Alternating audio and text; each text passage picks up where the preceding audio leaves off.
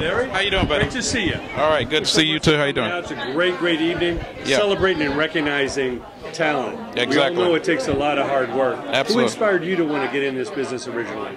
Well, well, there's a couple of people. I, I grew up watching Glenn Turman, Lawrence Jacobs, Fred Williamson, Sidney Poitier, and I said, you know what, I want to try that. So right after high school, I jumped right into it, feet first. Now, The White Shadow, that was an incredible time. Thank you. What was it like behind the scenes? What was the magic behind that show?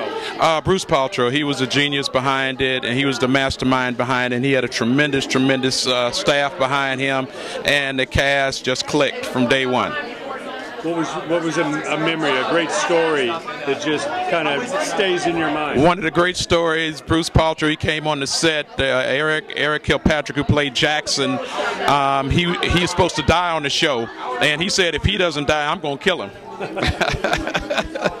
What advice do you give to young talent today? It's a whole other world from then. Absolutely. still, Absolutely. Talent and a team matter. Yeah, back then it was just three channels. Now there's all kind of opportunities, hundreds and hundreds of channels. I say just yeah, you know what I mean. I say just just get on stage, be seen. If you're good, they'll find you. Do it for the love of it. Don't Absolutely. about the pay up. It's not about that. It's not about that. It's about the love of it. It's a pleasure. Thank you so much for coming out. Thank you.